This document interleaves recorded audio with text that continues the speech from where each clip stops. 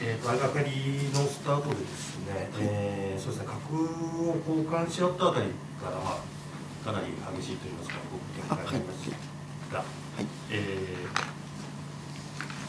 ー、4四角と打たれて、まあ、十勝玉とまあ顔面でというような場面ですけど、まあ、序盤から中盤にかけてとどのような手応えがありましたでしょうか。そうですねそうですね4四角と、えっと、手角を手放してしまうと攻めていくしかないので、えっと、どれぐらい、えっと、代償というか角を手放した効果を得られるかどうかだとは思ったんですけど本譜9八歩まで受けられてみるとそれ以上の攻めが難しかった気がするので面白くなかったかなと思います。その中盤戦がちょっとあの非常に駒が入り組んで複雑な中盤戦でしたが、えー、中盤から終盤にかけてというのは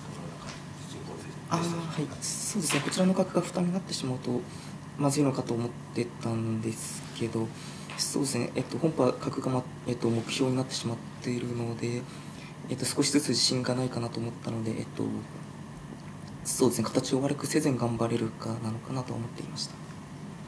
えーと、あの広瀬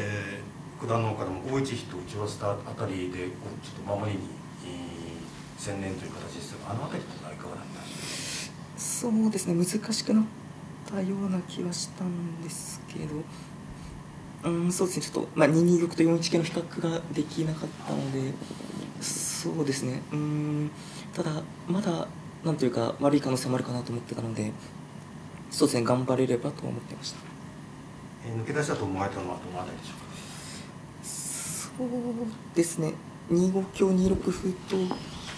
まあ一応こちらの玉が詰みにくい形になれば攻めに専念できるかなと思いました。一局を振り返るとどのような勝負なんでしょうですね。えっとえーとまあ、相掛かりは同型になりやすい将棋が多いんですけど、本譜だと非対称というか、はい、先手が5八玉で後手が4二玉型でそうですね。その形の差がどれぐらい中盤で出るかかなとは思ってはいたんですけどなかなか4二玉型いけなかったので全体的に面白くなかったかなと思います。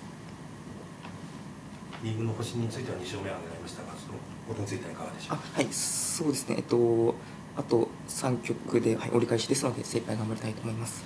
中盤から終盤にかけて7三強にだいぶ時間を使われて考えましたが、まあそれ以前も含めたんですけど、あの進行というようななんか生産というのをお持ちになった場面というのは何かありますでしょうか？うんまあ、なんか4五桂跳ねたあたりは調子いいかと思ってて。まあ、一応協力して3七香打って悪くないと思ってたんですけど7三香は見えてたんですけどその3三桂成6桂7四歩本譜ですね3桂をちょっと見落としててちょっとリスクが高かったと思うのでなんか違う指しまあ5五歩じゃなくてなんか違う違う指し方の方が多分良かったと思うんですけど本譜はもう